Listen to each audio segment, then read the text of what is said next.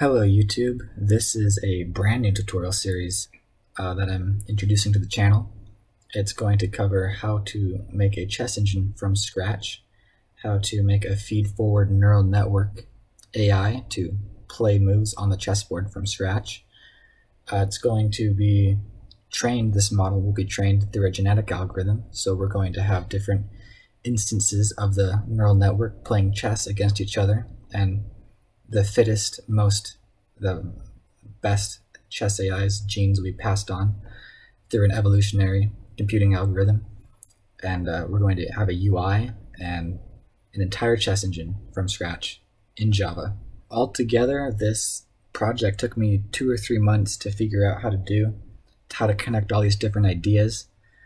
And I'm going to be going through the, uh, and we're going to be remaking this project line by line, every line of code will be documented and uh, commented.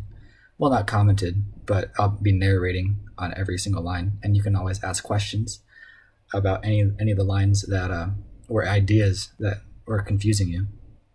As you can see in this demonstration, there's a lot of different options uh, for these menus, more than we even need to play chess. A lot of these options are just for uh, development purposes, like this edit genes window lets you be able to customize the the DNA to the the current models that are in the game. This demonstration is running some untrained or some partially trained models. They still need to be uh, trained more. But it takes a long time to train this neural network because it has like, I don't know, I think 20 hidden layers. Uh, so, so it takes a long time to train. Uh, but you can edit the different weights and biases. That's essentially what is being rendered in that dialog box uh, with White's traits encoded. Uh, the other menu is just a move list. We're going to be documenting chess games in the form of portable game network or PGN. It's a standard uh, chess notation and also a file format for saving chess games. We're going to also uh, have a little bit of data visualization. Maybe we won't touch on that too much, but just a different way to visualize and conceptualize a chessboard with uh, color-coded data. And uh, then we have the the main chessboard that uh, we'll get to, but we'll probably have a console output for a while uh, and focus more on the logic of the chessboard rather than rendering it, because I think I think uh, a lot of people already know how to put together UI, uh, but we'll get to that eventually. But it's not going to be the focus. The main focus is going to be AI, genetic algorithm, reinforcement learning, and then just a chess engine to resolve all the moves and output and input data in the form of PNG. I hope you're excited to start this tutorial series, and if you are, let's uh, let's begin. Let's start by creating a new new class. We'll, I will close that window, and actually, we're just going to start off by creating a new project. Uh, but first, I'm going to delete this thing from the workspace. That's the the demonstration that we're going to be working towards, the final sort of that final product. Ours is probably going to be different, uh, simplified in some areas, and uh, better in some areas. Um, so let's start creating a new project. It looks like Java 13 isn't installed on my. Uh, I don't have the JDK on my uh, this computer, so we'll still we'll stick with Java 8, which is totally fine.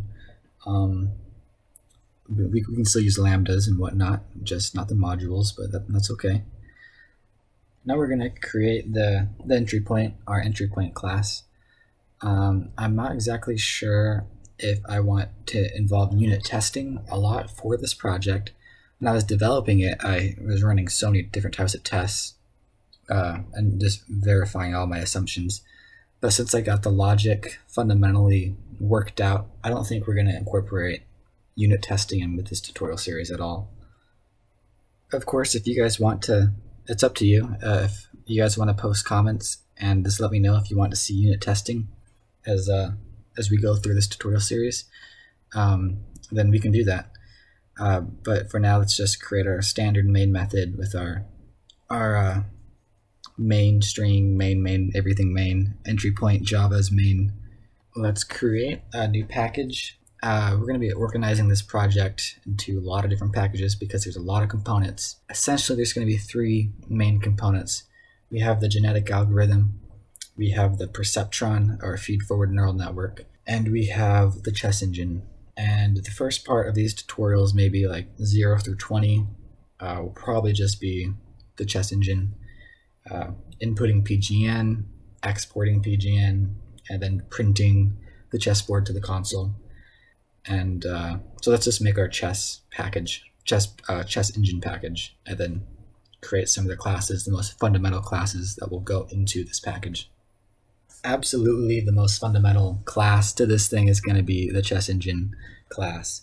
It's going to contain our chessboard, and it's also going to contain um, our PGN history as we progress through progress through a game.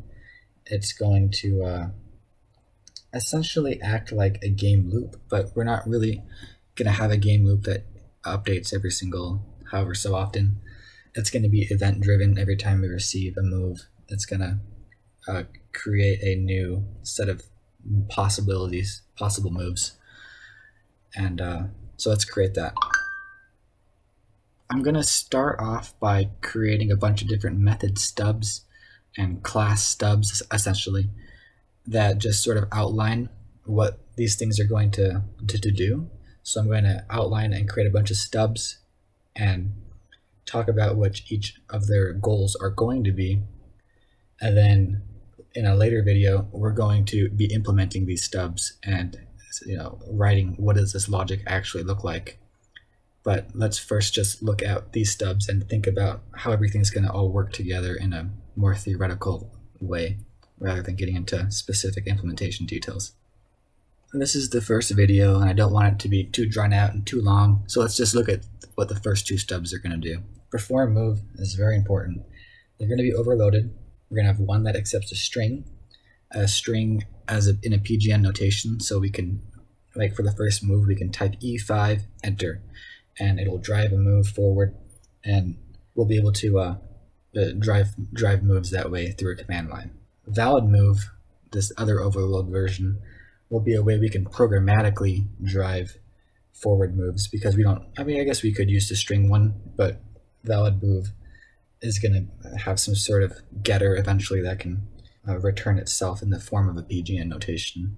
Um, but this provides kind of a quick and convenient way to programmatically drive moves within the chess engine. I think that just about wraps up the first video, a nice introduction and demonstration of what we're working towards. I am going to be posting all of the code at the end of every tutorial to the GitHub, and you can access the code by becoming a Patreon member. Otherwise, you're just going to have to type it out.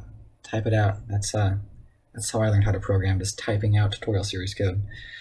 Uh, but yeah, feel free to join me on Patreon. You get access to the GitHub uh, repository live immediately when I post an update you'll get access to the next version of the tutorial if you want to follow along that way.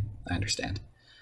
Thanks. Thanks for watching. Uh, this is going to be really fun. This was the, my favorite project I've worked on so far. I learned a lot developing this, and uh, I'm really excited to be doing this tutorial series. So um, get the source code, and uh, I'll see you in the next video.